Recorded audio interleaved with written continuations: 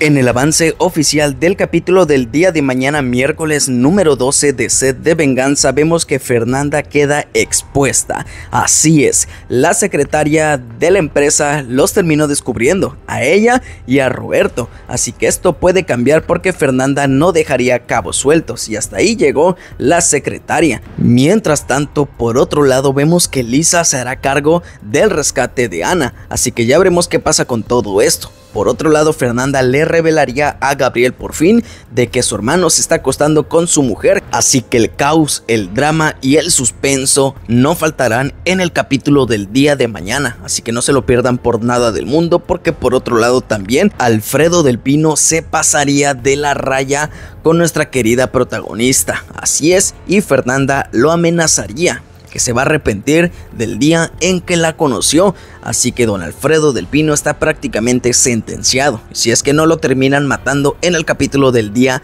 de mañana. Asimismo también tenemos una escena bastante emotiva entre Francisco y Elisa, ya que los recuerdos de hace más de 10 años se hacen presente. Mientras tanto, Fernanda los termina interrumpiendo, así que no se pierdan por nada del mundo el capítulo número 12 de Set de Venganza.